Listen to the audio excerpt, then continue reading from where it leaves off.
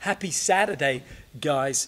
And wow, one day away from Sunday. Church online. Don't forget to go onto our YouTube page too. It's a great way to watch church, and you'll be able to live chat there too this weekend. And, and, and then there's also on our Facebook just great opportunities. Our website also plenty of opportunities for us. But let's throw watching parties. Let's get people involved because people need Jesus.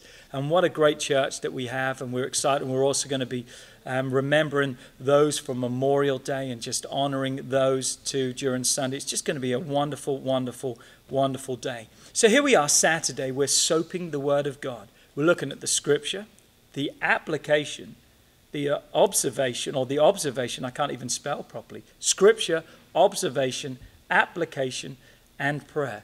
How we can take all those things and make it work in our life. So today we're going to conclude our mini series on Philippians chapter 4, and we're going to read the last verse of that chapter, verse 9. And it says, Keep putting into practice all that you have learned and received from me.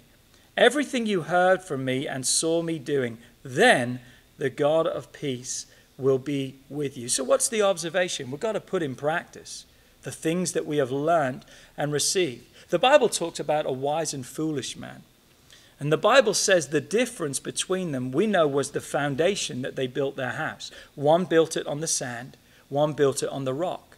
The storms and the winds and the trials came, same storm, different foundation. So, different result. The wise man's house stood on the solid rock, the foolish man's house crumbled. But what made him wise and foolish? What was the difference was Jesus said those that just hear the word but don't do it. And Paul is challenging us here that not only do we need to hear the word, but we need to put it into practice. What we receive on Sundays. And that's why it's been so good in our small groups discussing Sundays because we're getting so much out of Sundays. And now it's not just a message and oh, that was good. We're really drawing so much out of it, so much more. We're receiving from pastor, from the word, from everyone. We're receiving those things so we can put them into practice. We're learning from those. And it's so important. We're not the teachers, we're the learners.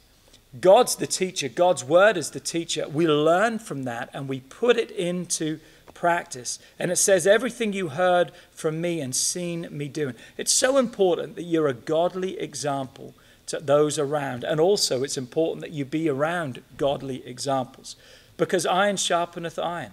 And what do we say? And lead will take you to the bottom.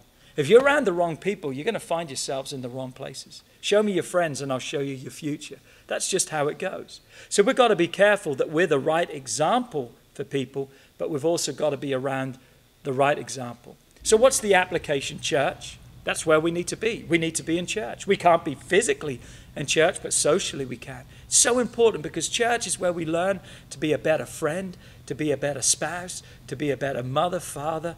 Come on, just to be a better person. Because we can receive from everyone else around us. We can draw strength. We can learn from those. We've got so many spiritual fathers in our church, young men and women and mothers that needed just that support. And they found it in their house. That's what's so beautiful about church, that you can learn from other people. And what you see in them you can then begin to do in your life. Paul also said this in the Gospels or in the, one of his epistles. He said, Follow me as I follow Christ. And wow, what a statement that is. Follow the example of my life. Not everyone can say that. And that's why we need to be around the right people to help us to be the right person for those around us. Think about that. I've got to be around the right people so I can be the right people for those around me or the right person for the people around me. So, again, what an incredible thought there. So, the application is come on, we need to be in church. Get in church, stay in church, connect in church, because church isn't where we go, church is who we are. Let's pray. Dear Heavenly Father, we thank you today for your goodness and mercies, the strength that you are to each and every one of our lives.